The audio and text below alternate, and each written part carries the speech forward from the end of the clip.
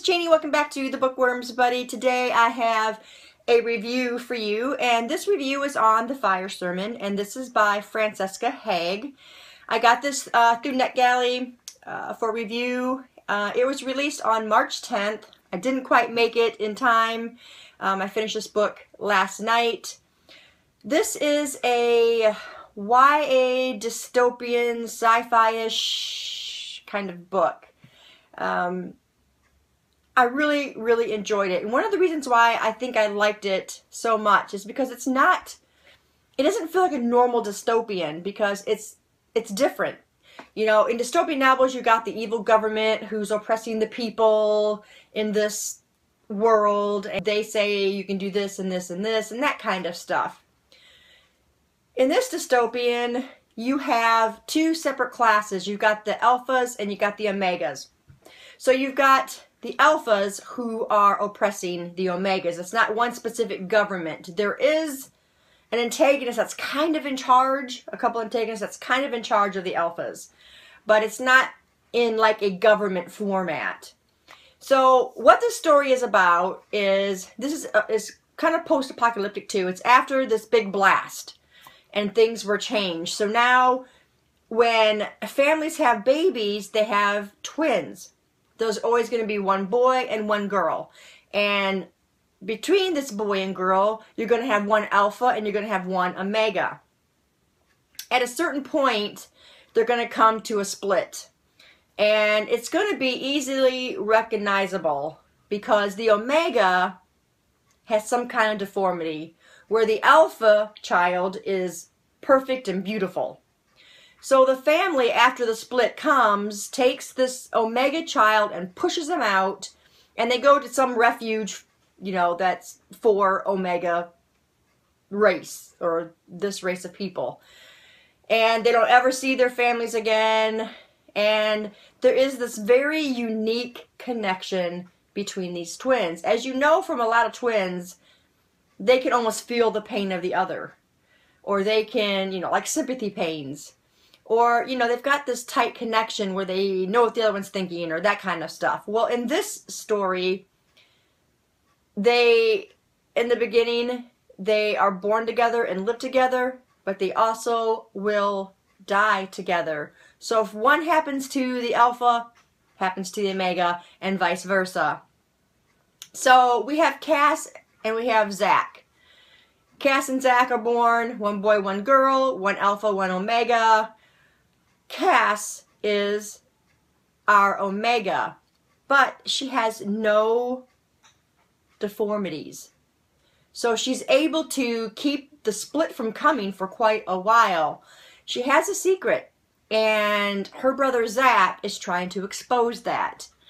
So I'm not going to tell you what the secret is because I think it adds a little bit of mystery to the story. You'll find out relatively early in the story what the secret is and what makes her Omega. So the split comes and Cass is cast out from the family at the age of 13 and is sent away.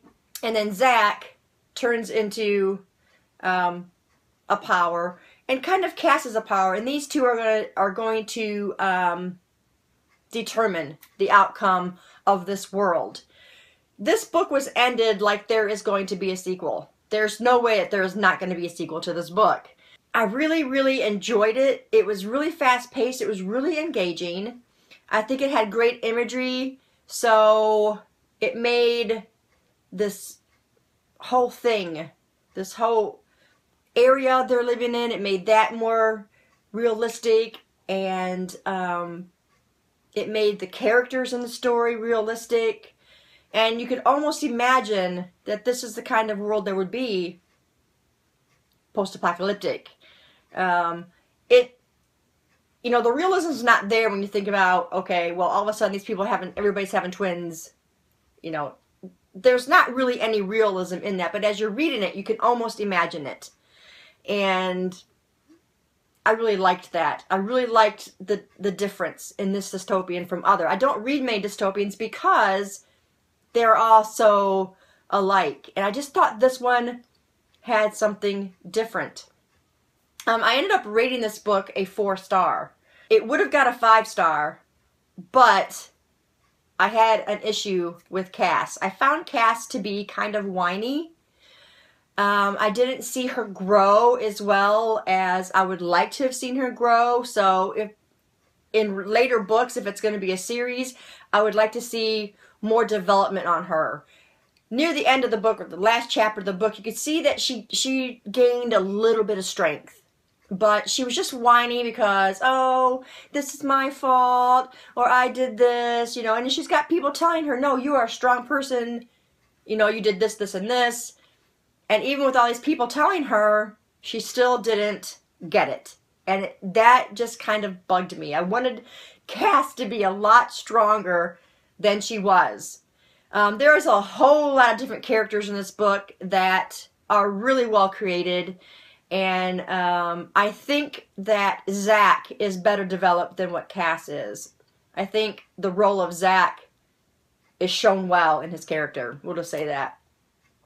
And um, the antagonists are great, and and I just I I liked the whole book. I, I enjoyed it. I think it was nice, fast paced, easy to read, action from page one.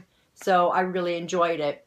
Um, like I said, this book's already been released on March 10th, so go check it out.